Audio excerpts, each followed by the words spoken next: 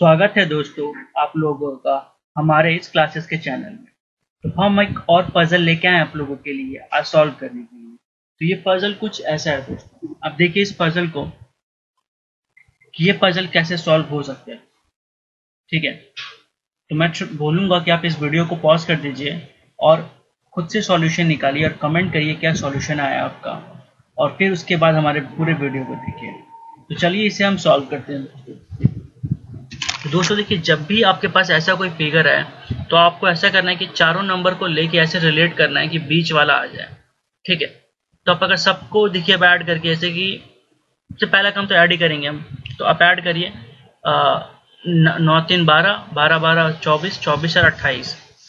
ठीक है? अट्ठाईस डिवाइड बाई फोर करेंगे तो सेवन आ जाएगा। मतलब एवरेज निकाल रहे हैं इसका। अब इसमें हम चेक करते हैं ऐसा कुछ है कि नहीं। तो अब देखिए यहाँ पे, बारह, पाँच सत्रह, ठीक है? सत्रह छ तेईस तेईस और तेरह, छत्तीस। अब छत्तीस को भी चार से डिवाइड किए तो आ गया नौ। और इसका भी एवरेज निकालें और उतना ही आंसर है। तो अब इसका निकालेंगे हम लोग।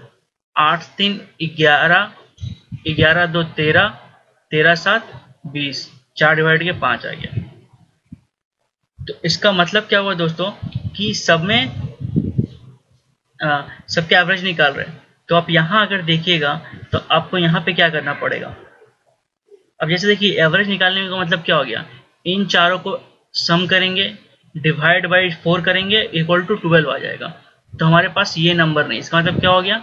हम जो फोर नीचे फोर है, वो राइट साइड में जाके मल्टीप्लाई हो जाएगा तो हो जाएगा twelve four jar forty eight ठीक है फोर्टी एट को इन तीनों को ऐड करिए आप और डिवाइड कर दीजिए दोस्तों। तो आपका आंसर आ जाएगा। तो देखिए सोलह पाँच इक्कीस इक्कीस इक्कीस फोर्टी टू हो गया। ठीक है?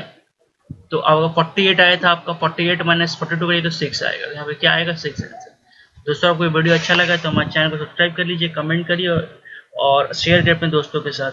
Thanks for watching friends